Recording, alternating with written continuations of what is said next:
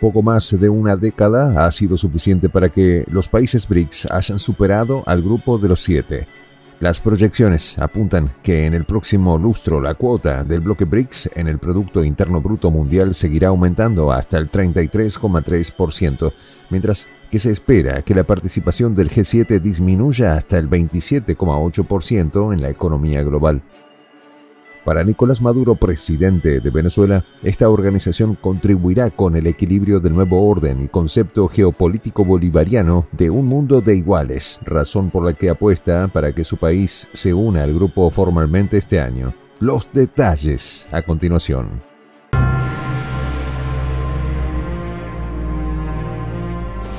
Voz de la Patria Grande. La creación del mundo multipolar es el camino que está cultivando los BRICS en distintos continentes del mundo, todo lo contrario al sistema obsoleto de una alianza rival establecida hace medio siglo como lo es el Grupo de los Siete, representantes de aproximadamente un tercio de la economía mundial. El presidente venezolano destacó que los BRICS son un poder económico definitivo y tiene un banco poderoso, por eso son el futuro de la humanidad. Este grupo puede contribuir con el desarrollo de las inversiones en Venezuela para el surgimiento de grandes mercados para los productos nacionales, así como para las relaciones multidiversas en lo cultural, en lo político, en lo institucional y en lo social grandes civilizaciones. El conglomerado multinacional está conformado por la civilización china, rusa, india, nuestra hermana Brasil, nuestra hermana Sudáfrica, el África.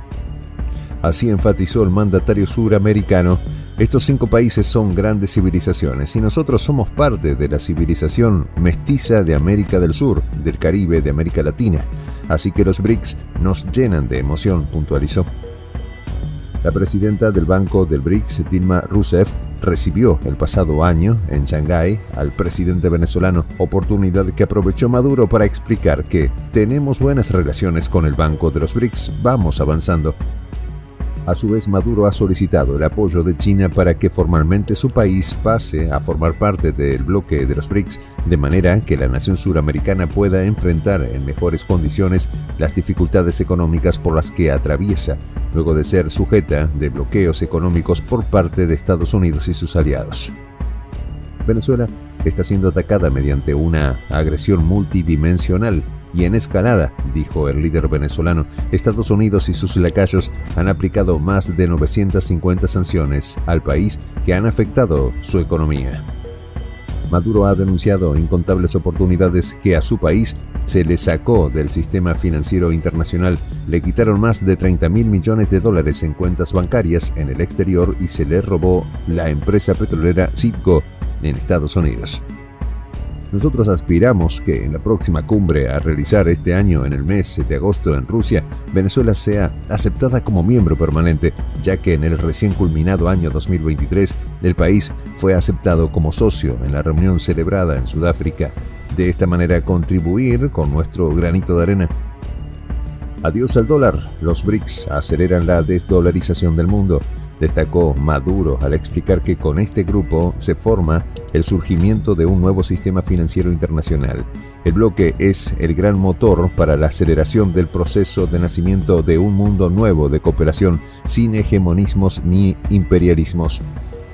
Por su parte, se refirió a la decisión del gobierno del nuevo presidente de Argentina, Javier Milei, de no asociarse con los BRICS, ya que es una de las cosas más torpes e imbéciles que hizo contra los argentinos. Milei busca llevar a la Argentina al siglo XIX y convertirla en una colonia. Es un constructo para clavarle las garras a Argentina, sacarla del mundo multipolar, hacerla vasalla del mundo unipolar imperial, destruir el Estado, destruir su economía y su identidad, apuntó Maduro. Maduro acusó al presidente Milei de eliminar todos los derechos del pueblo argentino con la aplicación del Decreto Nacional de Urgencia. Ahora le niega al país la posibilidad de entrar en este convenio multinacional, una medida dictatorial del presidente neonazi de ultraderecha de Argentina. El potencial económico de Brasil, Rusia, India, China y Sudáfrica es tan próspero que pueden convertirse, según estudios recientes, en las cuatro economías dominantes para el año 2050. Se estima que estas economías tendrán más del 40% de la población mundial y un Producto Interno Bruto combinado de 134.951 billones de dólares. Serían las entidades más grandes en la escena global.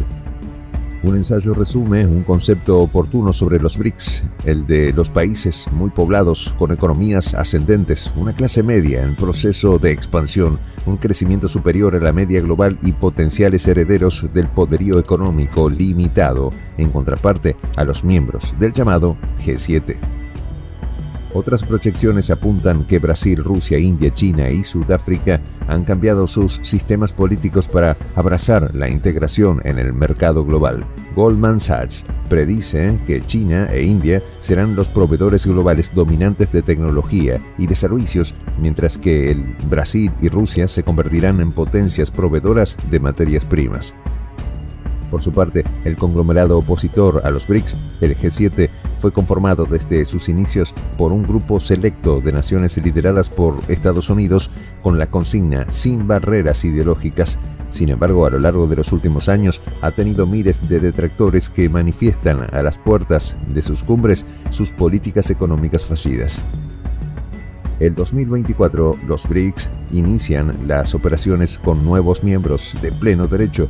La alfombra roja se extendió para recibir a la República Árabe de Egipto, la República Federal Democrática de Etiopía, la República Islámica de Irán, el Reino de Arabia Saudita y los Emiratos Árabes Unidos. Con esta nueva estructura de integrantes, el bloque BRICS controlará a partir de ahora el 80% de las reservas mundiales de petróleo. Según cálculos del Fondo Monetario Internacional, se prevé que a finales de 2024 las economías de los países BRICS superarán a las de las naciones del G7 en cuanto a su contribución a la economía mundial. Esto se determina comparando los PIB de ambos grupos ajustados a la paridad del poder adquisitivo. El bloque BRICS ha evolucionado en la última década, según datos recopilados por el grupo Visual Capitalist.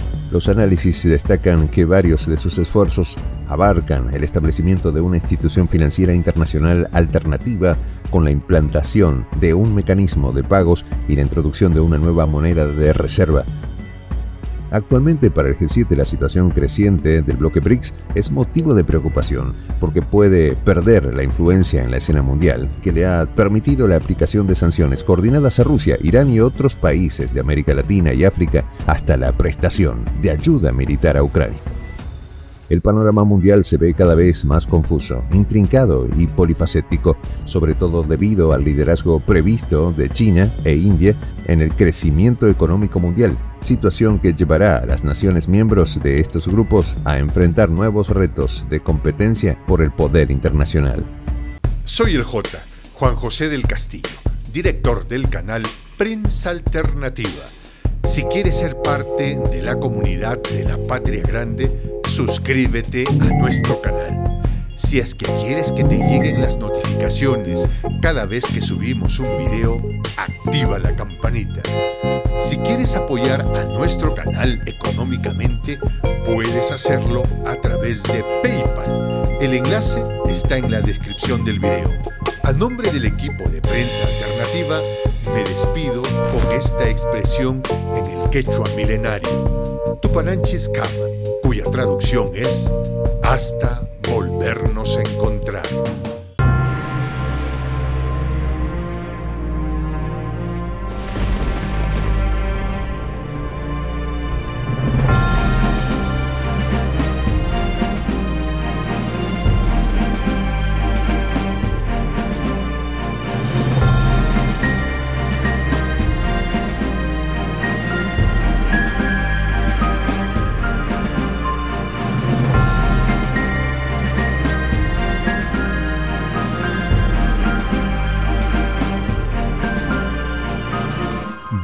De la Patria Grande.